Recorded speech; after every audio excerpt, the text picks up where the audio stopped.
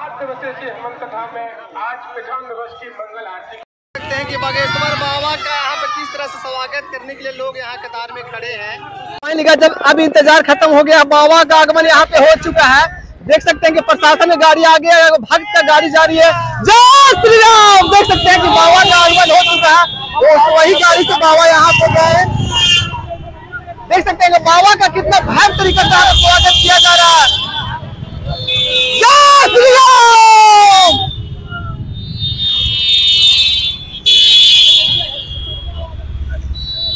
अब देख सकते हैं बाबा के गाड़ी के पीछे यहाँ पे हज़ारों गाड़ी यहाँ पे बाइक जो लोग है ना सरखाते हुए आ रहे हैं। बाबा को तो भव्य स्वागत यहाँ पे किया गया जय श्री राम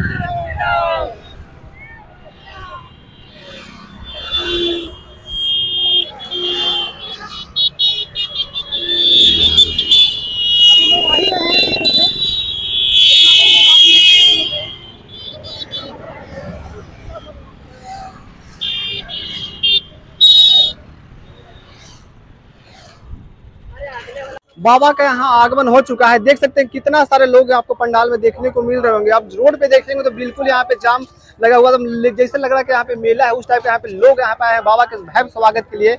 और आज यहाँ पे हनुमत कथा होने वाला है और लोग यहाँ पे अर्जी लगाने वाले हैं। देख सकते हैं कितना सारे लोग यहाँ पे आए हुए हैं। तो बिल्कुल यहाँ पे रोड आपको एकदम जाम आपको दिख रहा होगा आदमी से। देख सकते हैं। अब देख सकते हैं कितना बड़ा यहाँ पे भव्य पंडाल है, वहाँ पे लोग आप देख सकते बिल्कुल इसमें खचा खच की यहाँ पे भीड़े आपको देख रही होगी। बाबा बागेश्वर की इसमें एंट्री हो चुका है और कुछ ही पल में यहाँ पे अब अर्जी लगना स्टार्ट हो जाएगा और यहाँ पे मतलब जो कथा, हनुमत कथा है वो भी यहाँ पे सुनाया जाएगा।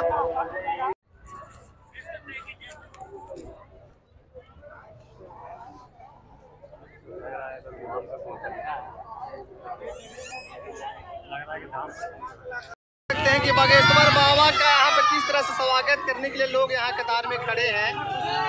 जय श्री राम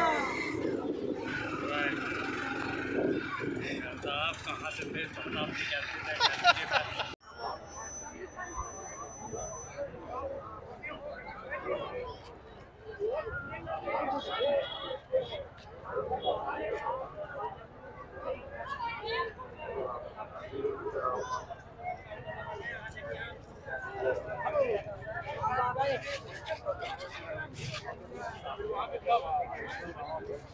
you.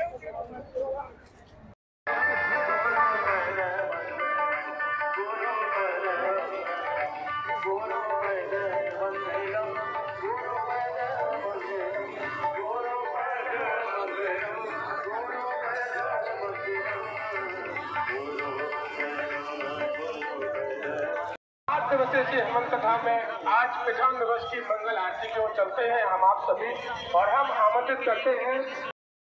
पूज्य पूज्य भगवान से आशीर्वाद प्राप्त करेंगे और सभी से हमारा आग्रह है, जो छोटे वाले मंच में आप सभी से आग्रह है कि आप आगे जाकर विराजमान हो जाए। सभी वॉलेंटियर से, कार्यकर्ताओं से हमारा विनम्र